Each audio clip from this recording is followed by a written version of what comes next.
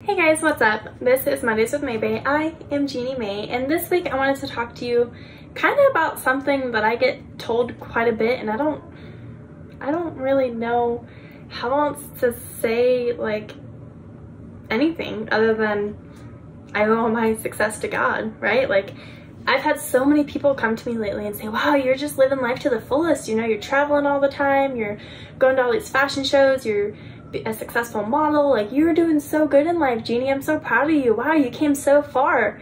And I hear it more often than not, and I'm very grateful for it. Don't get me wrong, but it's like, I, I didn't do it on my own. I owe all my success to God, and I don't know how to make that more clear. So today I wanted to touch base on that because as it says in Romans 12, 2, let God transform you into a new person by changing the way you think. I allowed God to change me into a new person by changing the way I think. I was so miserable and at just such an all-time low that I wasn't proud of the person I was. I wasn't proud of who I was. I wasn't proud of what I was doing. I was honestly ashamed of who I was and and what I was doing in the world. I was not someone I was proud of. I was not someone my son could be proud of. I was not anything great or anything to speak highly about until I allowed God into my life and I allowed God to take residence in my soul. And that once I allowed God to change me by changing the way I thought and the way I looked at life and the opportunities that presented themselves, I I never changed. I never would have been anything great. I would not be the person I am today. I would not be with the man of my dreams today if I wouldn't have shaped myself into the person I am today, if I wouldn't have allowed God to take residency in my soul. Yes, I'm living life to the fullest, but my version of living life to the fullest, see, all you guys think I'm living life to the fullest because I get to travel to all these super great places and I get to meet all these really wonderful people and I get to speak at seminars and I get to go to high quality fashion shows and I get to be a successful model and I'm published in magazines and I have my own office and blah, blah, blah, right? Yes, that all means I'm living life to the fullest, but how I perceive life to the fullest is life beyond the common.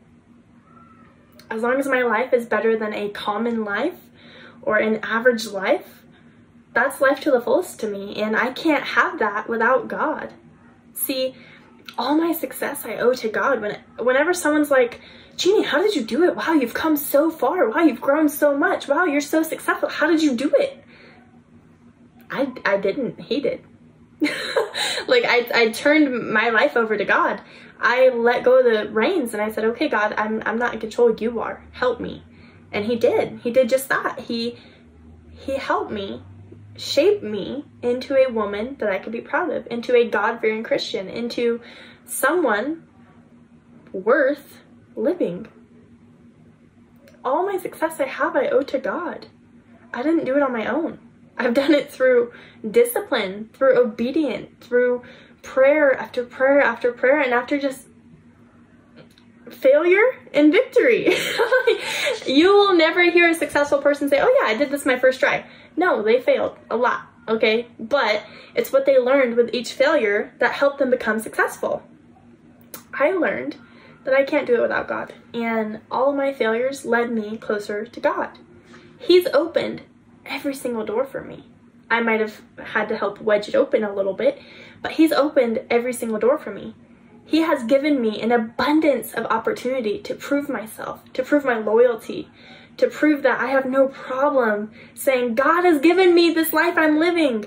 God has blessed me. I owe all of this to God. You ask me how I did it? I am like, yeah, God. I couldn't, I wouldn't be where I am without God. God guided me. God did this. God did that. God, God, God, God, God. Most people are like, Jeanne, you talk a lot about God. I'm like, yeah, I know. That's that's because he's part of me. like, I'm not ashamed of it. I love that my life is living God. I love that I can be obedient to Christ. I'm not perfect at all. I mess up quite a bit, but I love, I love that God is a foundation in my life. I love that I'm not ashamed to say I owe all my success to God. I love that people can come to me and see my light in my soul and in my spirit and say, You're such a godly woman. Wow, you're so encouraging. Wow, you're so empowering. All because of God. See, the moment you allow Jesus to take residency in your soul is the moment that you're accepting Him as your shepherd. He is the door, He is the gateway to all of your success, He is the gatekeeper to peace and eternal life.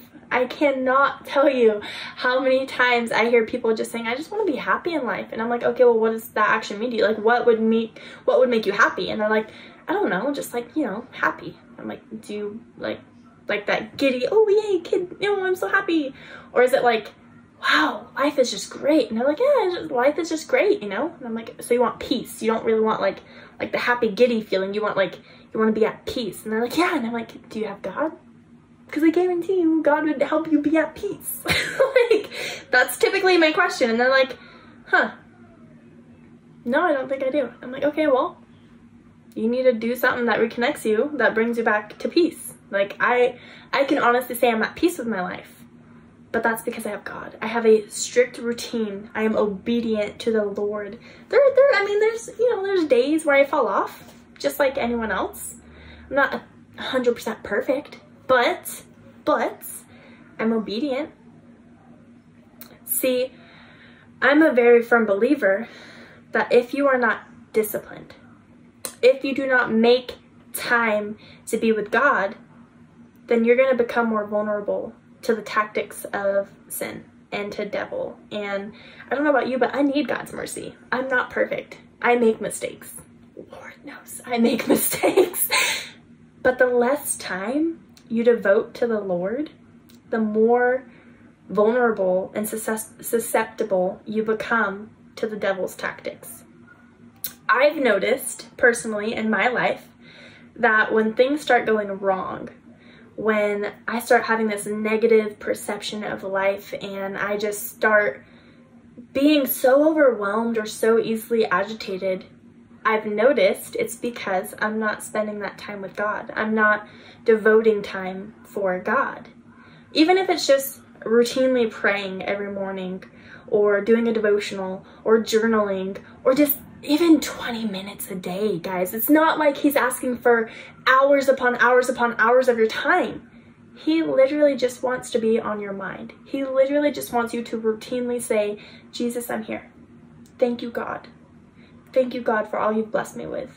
Trying to have that connection, trying to build that relationship. When you're in a relationship with your partner, if you don't see them ever, if you don't talk to them ever, how are you going to build a bond worth keeping? You're not you guys are gonna break up. I hate to tell you this.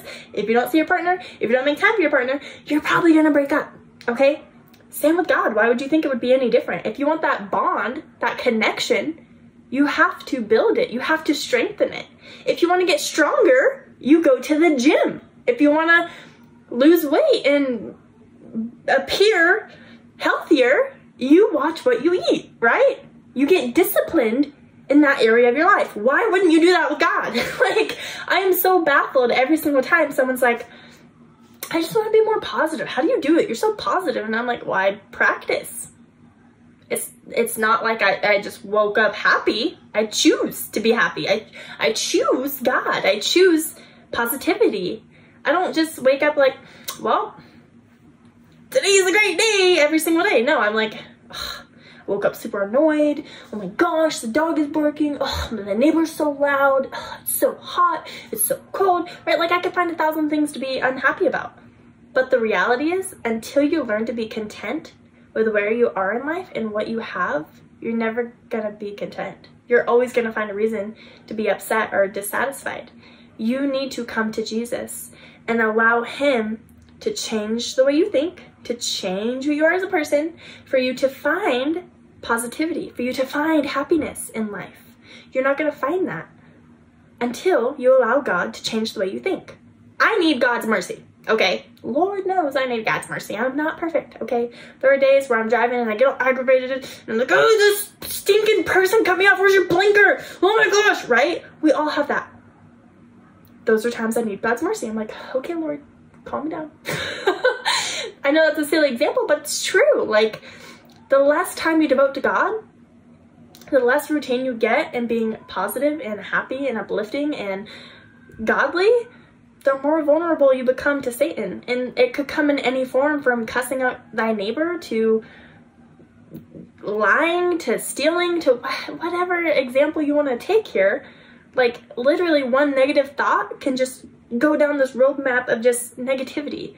And I don't know about you, but I don't have time for that. I'm too busy doing this, sharing God's word, telling all of my success and giving it all to God and glorifying God because He has given me such a beautiful life and an abundance of peace. Why would I, why would I give that up? Right? Like, I don't know about you, but I choose peace, love, and happiness over anything over here, okay? God, anything else. Yeah, I'm gonna, I'm gonna look up there. See, when you shift your focus from everything down here to Him, nothing down here matters. You might kind of see it in, in, your peripheral, right? Like you're still looking up, you could kind of see like down here. You don't really care. When it starts moving and wiggling around, you're like, okay, what's that? And then you like shift your focus back up, right? Okay, same with God, all right? When you're focused on God, you might see like all these little tiny things, but they become more clear, okay? Let me let me say this in a different way. When you shift your focus on God and you see like the devil working down here, you can see it, but you become more aware of it. You are able to say, oh, that's Satan. Oh, oh, that's a distraction. Oh, no, mm -mm, focus is still up here, right? You can see it in your peripheral. Us parents are great about that. You can see it in your peripheral, but you know it's just a distraction, okay? When you're focused on getting your work done, and you can see your kid running around over here and he's probably gonna hurt himself, whatever, you can like yell at him and say, hey, knock that off, but you're still focused. You can do that with God too.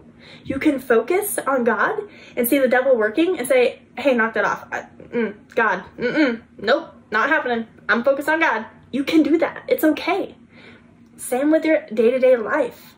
There are some people in your life that are just there to cause chaos. It's okay to simply say, hey, yeah, I don't need that, sorry. You don't have to give it your energy, your time. You don't owe it an explanation. You can just say, yeah, no, that's not gonna work, sorry, and move on.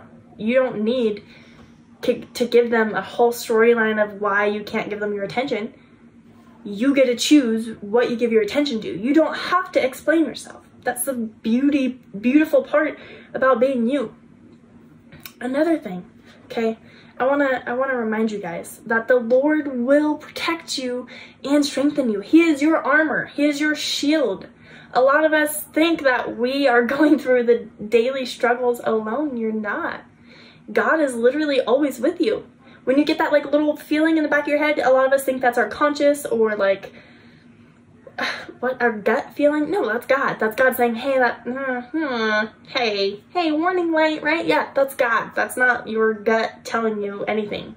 Your gut is not an actual instinct. That's god reminding you hey i'm your shield hey i'm your strength hey i'm with you. You don't have to do this alone so that you don't do it alone. Like i come on come on. You're not you're not gonna get through anything in life alone okay?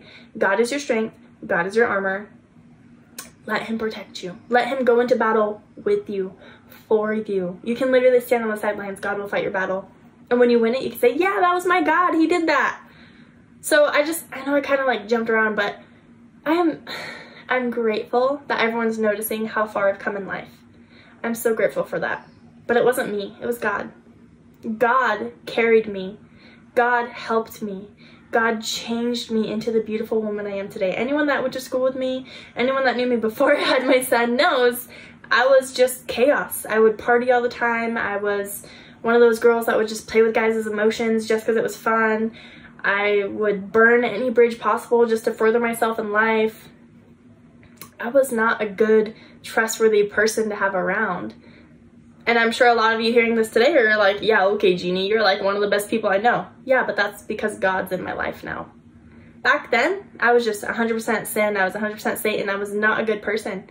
Today, I can come to you and say, yeah, I'm a good person. I'll tell you the truth. Probably will hurt, but I'll tell you it.